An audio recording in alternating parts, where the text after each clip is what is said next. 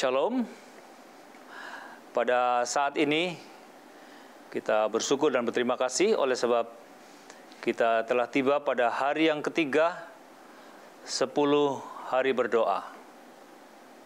Dan kita bersyukur dan berterima kasih karena tema besar untuk perenungan 10 hari berdoa pada saat ini adalah pengalaman yang lebih mendalam. Dan judul di hari yang ketiga ini adalah peperangan terbesar. Peperangan yang terbesar yang dimaksud di sini adalah perang untuk melawan diri sendiri. Bukan perang fisik tentunya, bukan perang yang lain, melainkan ini adalah perang rohani, melawan diri sendiri untuk tujuan bertumbuh menjadi seperti Kristus. Saudara sekalian yang kekasih di dalam Yesus Kristus, satu ayat pembukaan yang pertama yang kita akan uh, baca yaitu di dalam Yeremia pasal 29 ayat yang ke-11. Firman Tuhan menuliskan, "Apabila kamu mencari aku, kamu akan menemukan aku. Apabila kamu menanyakan aku dengan segenap hati." Pergumulan dan peperangan pribadi terjadi dari hari ke hari tetapi kita bersyukur dan berterima kasih oleh sebab firman Tuhan menjanjikan kepada kita apabila kita mencari Tuhan maka dikatakan kita akan menemukan Dia. Apabila kita mencari pertolongan Tuhan, meminta pertolongan Tuhan, maka Tuhan akan datang untuk menolong kita, untuk menolong kita. Baiklah, uh, kita senang karena kita juga memiliki sebuah uh, kutipan yang sangat uh, memberikan kepada kita inspirasi dan tuntunan yang ditulis oleh seorang hamba Tuhan dalam buku Kebahagiaan Sejati halaman 48. Ketika kita bergumul dalam kehidupan keseharian kita, maka kita membutuhkan uh, pertolongan Tuhan dan kita mengharapkan kemenangan dalam setiap pergumulan kehidupan kita. Dan ini ada satu kutipan yang akan menolong kita untuk mendapatkan kemenangan itu. Dikatakan segenap hati harus diserahkan kepada Tuhan. Kalau tidak diserahkan kepada Tuhan dengan segenap hati, maka perubahan tidak pernah terjadi dalam diri kita. Perubahan yang akan memulihkan kita menjadi seperti Dia. Dikatakan peperangan melawan diri sendiri adalah peperangan yang terbesar yang pernah berlangsung. Penyerahan diri sendiri, memasrahkan seluruhnya kepada kehendak Allah, memerlukan satu pergumulan – tetapi jiwa itu harus lebih dulu diserahkan kepada Allah, barulah dapat dibaharui dalam kesucian. Kemenangan menjadi milik umat-umat Tuhan dan Tuhan memberikan janji itu terjadi bila mana kita serahkan sepenuhnya hidup kita kepada Tuhan. Ada satu uh, pengalaman hidup dari satu keluarga, suami istri dan uh, George, orang tua mereka. Suami istri ini adalah keluarga yang takut akan Tuhan dan suami istri ini dari waktu ke waktu senantiasa banyak berdoa, membaca firman Tuhan, bergumul dan harapan doa mereka selalu agar supaya Tuhan menolong memberkati mereka bertumbuh di dalam karakter, di dalam tabiat Tuhan. Nah, satu kali mereka uh, mendapatkan satu kesempatan untuk uh, hidup bersama dengan orang tua mereka George dan mereka tinggal di satu rumah dengan uh, lingkungan dan uh, situasi yang sangat baik untuk masa tua George. Hari-hari biasa mereka uh, hidup dengan sukacita, mereka selalu mengadakan ibadah bersama dalam keluarga mereka, dan George selalu memberikan uh, tambahan inspirasi-inspirasi dari pengalaman hidupnya yang sangat menolong keluarga ini untuk bertumbuh. Di masa tuanya, George menikmati hidupnya bersama kedua anaknya. Satu kali ketika George sedang berjalan keluar meninggalkan rumah untuk menikmati alam di sekitar mereka, didapati bahwa ketika George waktunya kembali ke rumah maka suami istri ini mendapati bahwa George tidak kembali pada waktunya. Dan ketika George tidak kembali pada waktunya, maka uh, kedua anaknya, suami istri itu mencari George. Dan didapati bahwa George uh, terperosok di satu jalan dan terjatuh di sana dan kemudian kedua anaknya ini menolong untuk membawanya ke rumah dan kemudian ke rumah sakit. Namun ketika sampai di rumah sakit, uh, didapati bahwa George bukan hanya jatuh oleh karena uh, terperosok, tetapi didapati ada satu tumor yang mengharuskan George mengikuti uh, serangkaian operasi di tulang belakangnya dan sangat menyedihkan oleh karena setelah operasi itu membuat George kemudian mengalami kelumpuhan. Dan akibat daripada kelumpuhan itu, maka mereka kemudian hidup di rumah dan sekarang merawat George bukan dalam keadaan sehat tetapi dalam keadaan lumpuh. Dari waktu ke waktu mereka merawat George. Dan mereka senang dengan uh, keadaan uh, seperti itu walaupun berubah mereka tetap berharap kepada penyertaan Tuhan.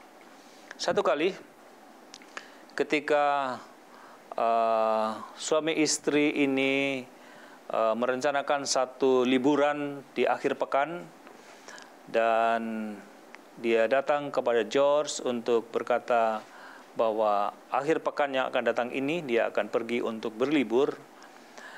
Dia katakan George, uh, kami akan berangkat untuk berlibur dan kita akan bertemu kembali beberapa hari ke depan. Tapi kemudian tanpa mereka uh, sangka-sangka George memberikan respons yang uh, mereka tidak harapkan yaitu dengan marah dan kemarahan George dia katakan saya adalah tanggung jawab kamu dan kamu tidak punya uh, hak untuk meninggalkan aku kepada orang lain. Dan ketika mendengarkan George uh, merespon seperti itu, maka tiba-tiba ibu atau putri dari George ini uh, juga terpancing dengan amarah dan kemudian dia menyaut bahwa memang kamu adalah orang tua yang mementingkan diri dan kamu ini keterlaluan. Nah, saya sekalian ketika terjadi satu ketegangan, kemarahan pada waktu itu, maka kemudian e, ibu ini teringat pada doa-doa yang mereka layangkan selama ini. Mereka mendoakan untuk terus dan tetap bertumbuh di dalam karakter Kristus. Tetapi sekarang mereka mendapati bahwa mereka sekarang bertengkar, dan kemudian dia menangis.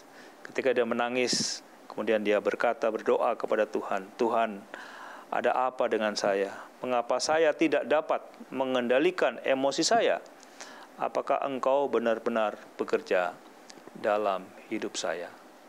Kemudian ibu ini menyadari bahwa dia uh, harus mengakui di hadapan Tuhan kelemahannya, dia juga meminta maaf kepada George Dan ketika itu dilakukan, maka kemudian dia merasakan ada satu perasaan sukacita yang besar karena Tuhan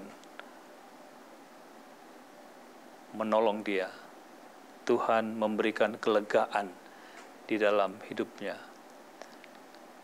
Tanpa dia sadari, sebetulnya selama ini dia menyimpan satu perasaan terbeban, menyimpan satu perasaan ada kebencian, menyimpan satu perasaan mengapa harus seperti ini, seperti nggak ada jalan keluar.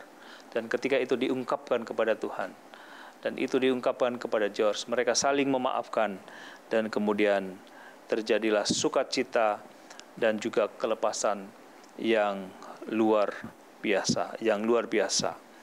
Nah, saudara sekalian, firman Tuhan uh, menuliskan barang siapa datang kepadanya, Tuhan tidak pernah akan menolak menolak dia.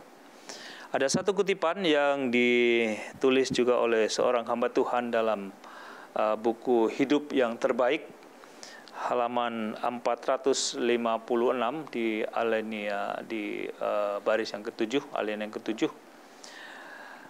Banyak orang yang dengan sungguh-sungguh mengabdikan hidupnya bagi pekerjaan Allah. Merasa heran dan kecewa menemukan diri mereka.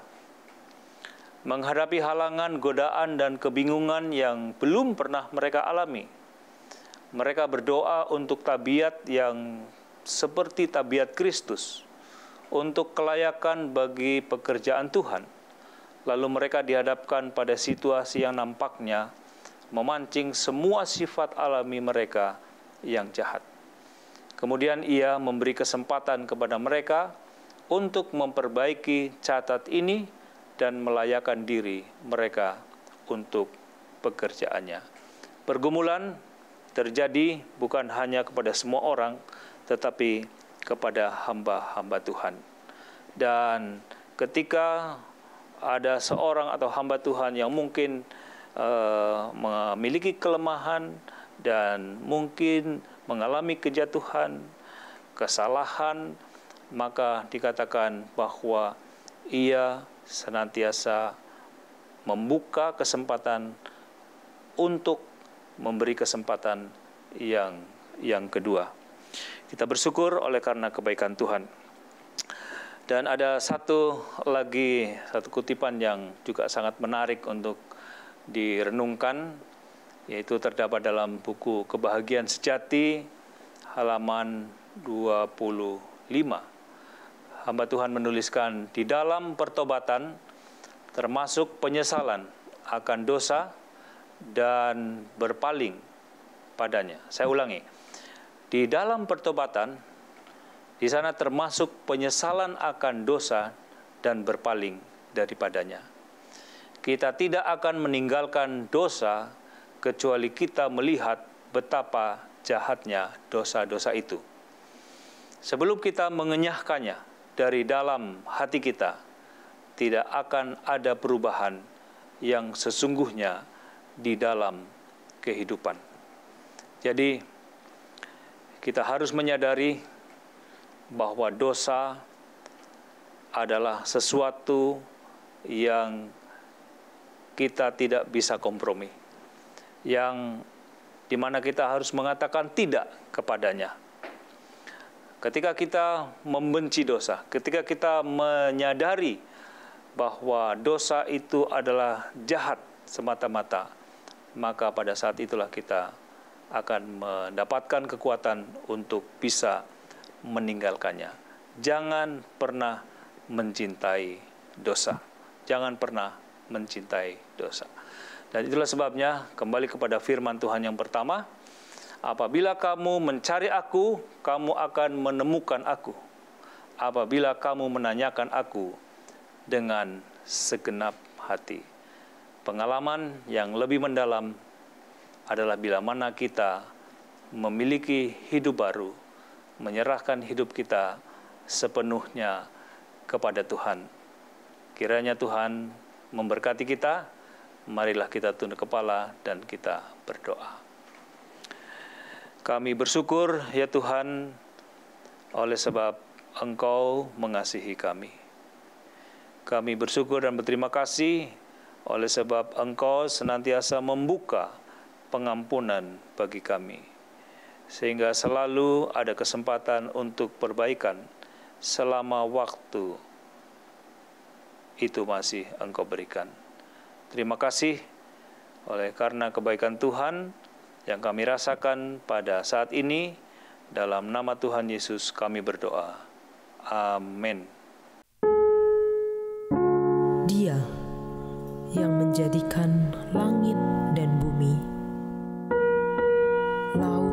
segala isinya, yang tetap setia untuk selama-lamanya. Mazmur 146 ayat 6 Shalom, pemirsa, kembali lagi bersama dengan kami di program 10 Hari Berdoa. Ini sebuah sukacita bagi kami untuk dapat mengundang, mengajak pemirsa dan semua kita yang menyaksikan tayangan ini untuk berdoa bersama, bersekutu dalam doa meminta curahan roh kudus kita baru saja diberkati dengan firman Tuhan dari hamba Tuhan, pendeta, cara pawira, hamba Tuhan, wakil ketua Gereja Masai Advent Hari Ketujuh Uni Indonesia Kawasan Barat. Bersama dengan saya, pendeta Ari Tonang, kita akan mengulas sedikit pelajaran kita telah, telah pelajari tadi dan kita akan berdoa bersama-sama dengan United Prayer dengan pola yang sangat sederhana. Kita akan mulai dari puji-pujian, pengakuan, permohonan, dan juga ucap syukur.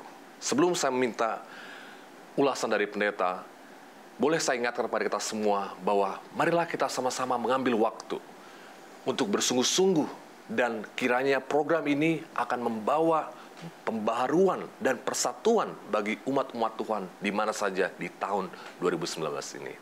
Pendeta, boleh pendeta sampaikan kembali mungkin sedikit ulasan pelajaran yang telah pendeta sampaikan sesaat tadi. Baik, terima kasih Neta Wilson Aritonang. Um, sesuai dengan judul pelajaran pada saat ini adalah peperangan yang terbesar. Jadi peperangan yang terbesar itu adalah uh, peperangan pribadi. Ini bukan peperangan fisik, tetapi Betul. ini adalah pergumulan rohani, peperangan rohani. Dan peperangan rohani ini adalah peperangan untuk membangun karakter, membangun tabiat seperti tabiat Kristus. Amin. Dan ini bisa dimenangkan oleh setiap umat Tuhan untuk bertumbuh di dalam karakter Kristus bila mana setiap anak-anak Tuhan hidup di dalam Kristus. Amin. Tapi memang juga bisa juga eh, pengalaman-pengalaman tertentu beberapa orang mungkin bisa jatuh ke dalam apa namanya kelemahan, Kelemahan. kesalahan. Uh, maka ada juga firman Tuhan yang lain yang sangat menarik seperti yang tertulis dalam Ayub pasal 24 ayat 16. Betul. Di sana dikatakan sebab tujuh kali orang benar jatuh, namun ia bangun kembali, tetapi orang fasik akan roboh Amin. dalam dalam bencana. Terima kasih pendeta. Jadi kita diingatkan bahwa peperangan terbesar itu adalah peperangan rohani. Bagaimana Tuhan ingin membangun membangun image Kristus dalam kehidupan kita. Dan boleh saya tambahkan mungkin dari kitab Yeremia 29 ayat 13 sama dengan ayat ayat Alkitab yang pendeta telah bacakan. Apabila kamu mencari aku, kamu akan menemukan aku apabila kamu menanyakan aku Tuhan Allah kita dengan segenap hati. Jadi inilah kerinduan kita semua, tidak hanya sebagai rutinitas, tetapi doa 10 hari berdoa ini betul-betul membawa perubahan yang ajaib dalam kehidupan kita. Jadi kalau ada saudara-saudara yang mau menyampaikan permohonannya, jangan ragu-ragu untuk sampaikan kepada nomor yang tertera di layar Anda, supaya kami boleh mendoakan Anda di mana pun Anda berada dan berkat Tuhan boleh juga menjadi bagian Anda. Baiklah pendeta, kita akan beranjak ke United Prayer. Ada empat pola yang tadi kita telah saya sampaikan. Kita akan memuji Tuhan karena Tuhan begitu baik, telah mengampuni dosa kita, membuang dosa kita jauh di tubir-tubir laut, sehingga melupakan kita menjadi orang yang baru. dan juga kita terus minta pengakuan dosa. Dan tidak lupa kita juga akan mem- membuat permohonan, kita tidak akan lupa kerinduan kita tahun ini supaya jemaat Tuhan boleh dicurahkan Roh Kudus, kebangunan rohani terjadi di seluruh dunia dan dimulai dari keluarga kita dengan kuasa doa dan tidak lupa banyak sekali bencana terjadi pendeta tahun lalu. Kita boleh doakan bencana. Mungkin ada pendeta permohonan yang lain, ada ada orang yang lain boleh kita doakan. Ya, kita tetap mendoakan nanti eh, Ibu Peggy Betul. yang masih dalam keadaan sakit supaya Tuhan sembuhkan. Amin. Ibu Peggy Manawan. Amin. Kita minta berkat kesembuhan untuk Ibu Peggy dan juga bagi setiap pemirsa yang sedang sakit, kiranya Tuhan boleh menjabat menjamah tubuh kita dan kita tutup dengan ucapan syukur. Silakan Pak. Baiklah, bersawan marilah kita sama-sama tunduk kepala dan kita satukan hati kita dalam doa. Kita berdoa. Kami datang kepadamu ya Tuhan, memuji, memuliakan Engkau, sebab Engkau adalah pencipta langit, bumi, dan segala isinya. Engkau adalah Tuhan kami, Engkau adalah Allah kami, namun Engkau juga adalah Tuhan yang dekat dengan kami. Kami memuji Engkau oleh sebab Engkau Tuhan telah memberikan kekuatan dan Engkaulah yang telah menopang kami ketika kami lemah. Kami memuji Engkau karena ketika kami jatuh, Engkau tidak meninggalkan kami. Dan kami memuji Engkau ya Tuhan, karena Engkau adalah Allah yang maha pengampun. Engkaulah yang membuang dosa-dosa kami ke tubir laut dan tidak mengingatnya lagi.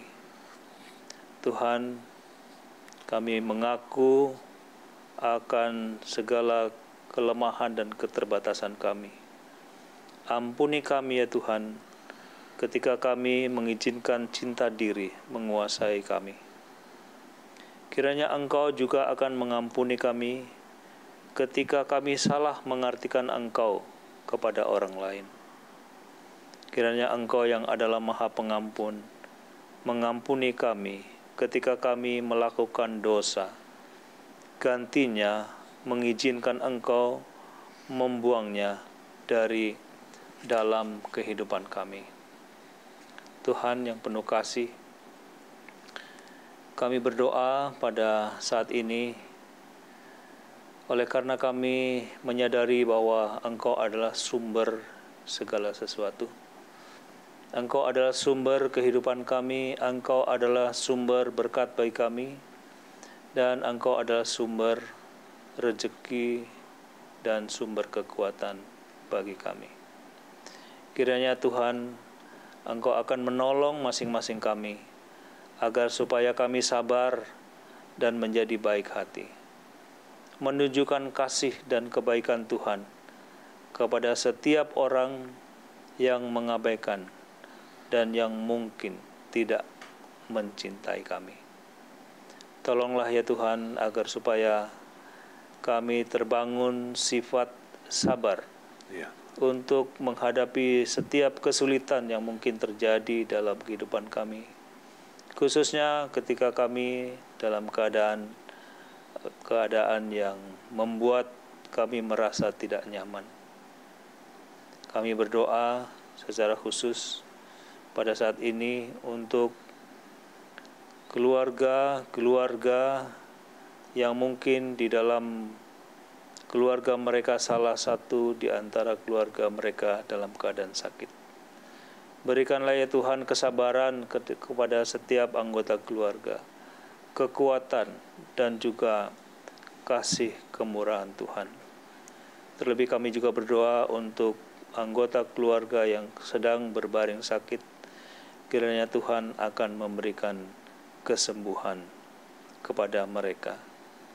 Kami berdoa secara khusus untuk hambamu Ibu Peggy Manawan yang pada saat ini masih membutuhkan jamahan Tuhan untuk memberikan kesembuhan. Kiranya engkau akan menjamah dengan tangan pengasihanmu dan kiranya ia akan sembuh pulih kembali. Untuk kami boleh bersama-sama memuliakan nama Tuhan melalui kesehatan yang Tuhan karuniakan bagi kami. Kami berdoa secara khusus untuk uh, hamba-hamba Tuhan yang sedang dalam keadaan sakit. Kiranya Tuhan akan memberikan kepada mereka uh, kekuatan, Engkau akan singkirkan kecemasan, dari mereka yang sedang sakit. Anugerahi kepada mereka ya Tuhan semangat dan damai sejahtera yang datang daripada Tuhan. Bahkan kesembuhan yang mereka akan miliki itu akan menolong mereka untuk bertumbuh dalam sukacita hidup bersama dengan Tuhan. Kami teringat akan keluarga-keluarga para korban bencana tsunami di Banten dan sekitarnya dan juga di Lampung, Kalianda dan sekitarnya. Kiranya Tuhan akan menilik mereka, melawat mereka, memberikan kepada mereka kekuatan, memberikan kepada mereka kesabaran, memberikan kepada mereka penghiburan bila mana ada salah satu di antara keluarga mereka yang terkena bencana, hilang, meninggal, dan mungkin belum ditemukan. Biarlah damai sejahtera Tuhan akan menjadi bagian mereka dan pengalaman seperti ini akan membantu juga menolong setiap orang untuk datang lebih dekat kepada Tuhan. Kami bersyukur Tuhan, kami puji muliakan namamu. Oleh karena kemurahan Tuhan yang sudah mendengar dan menjawab doa-doa kami karena kami persembahkan semuanya ini hanya di dalam nama Yesus yang adalah Tuhan dan Juru Selamat kami. Amin. Amin. Terima kasih pendeta. Sama-sama. Puji Tuhan. Tuhan. memberkati. Tuhan berkati. Terima kasih pemirsa, di mana pun Anda berada, kami bersuka cita boleh membawakan berkat doa ini kepada kita semua. Mudah-mudahan kita semua di mana pun kita berada tidak jemu-jemu untuk berdoa, karena tahun ini bisa menjadi sebuah tahun perubahan dan itu dimulai dari anak-anak Tuhan yang rindu memiliki pengalaman rohani yang lebih kaya, lebih dalam sesuai dengan tema kita sepanjang 10 hari ini. Tuhan berkati.